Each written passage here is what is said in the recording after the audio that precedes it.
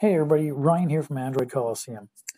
In my series of things I take for granted I want to share with you, today I want to talk about is Google Photos. They've absolutely nailed this being super, super convenient. Now, there's a lot of tools we can play around with it to edit this, but what I want to talk about is their search feature.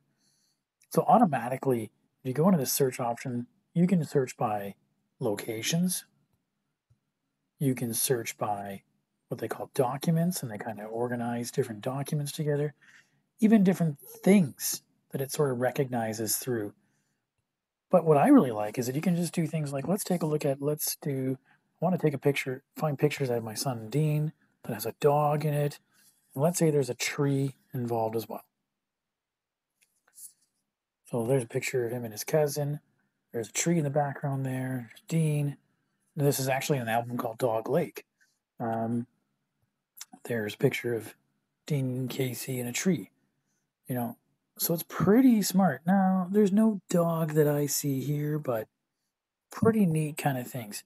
But what if we said something like um, my sister in law Kelly and let's say Minneapolis? Right? So there's a picture of Kelly when we were in on our way to the Minneapolis trip. There's a picture of us in Minneapolis.